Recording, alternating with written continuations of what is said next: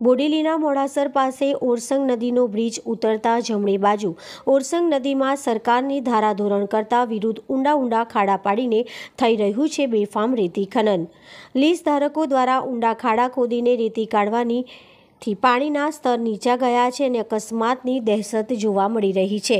Lease હોલ્ડરો દ્વારા JCB ઊંડા ખાડા ખોદી ગેરકાયદેસર રીતે કાઢવામાં આવી રહી છે.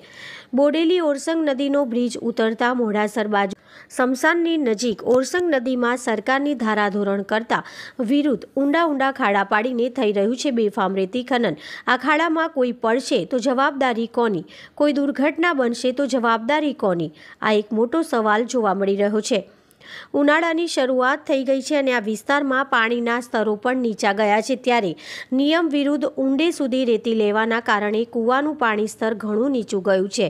જો આમ જ રેતીનું ખોદકામ ચાલુ રહ્યું, તો બધા જ કૂવામાં આવતું પાણી સદંતર ખલાસ થઈ જશે અને આવનારા સમયમાં પાણી માટે આ વિસ્તારમાં વિકટ સમસ્યા સર્જાશે તેમ લોકો જણાઈ રહ્યા છે. આ બાબતે અત્યંત ગંભીર હોય, છોટાઉદેપુર ખનિજ વિભાગ દ્વારા તાત્કાલિક પગલાં ભરી રેતી ખનન બંધ નહીં કરવામાં આવે તો ભવિષ્યમાં લોકોને સિંચાઈ તો ઠીક, પરંતુ પીવાના પાણીના ફાફા પડી જશે.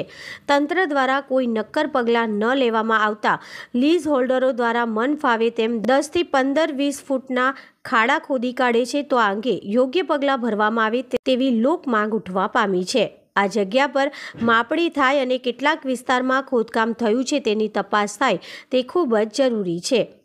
Reporter Sheikh Soeb BN news Gujarati, Bodeli, Chhotaudepur.